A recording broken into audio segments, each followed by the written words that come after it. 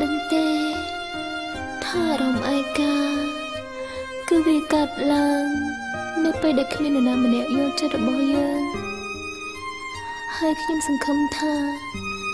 បទចម្រៀងមួយបទនេះនឹងធ្វើឲ្យមនុស្សដែលខ្ញុំស្រឡាញ់យល់ពីអារម្មណ៍របស់ខ្ញុំនៅពេលនេះ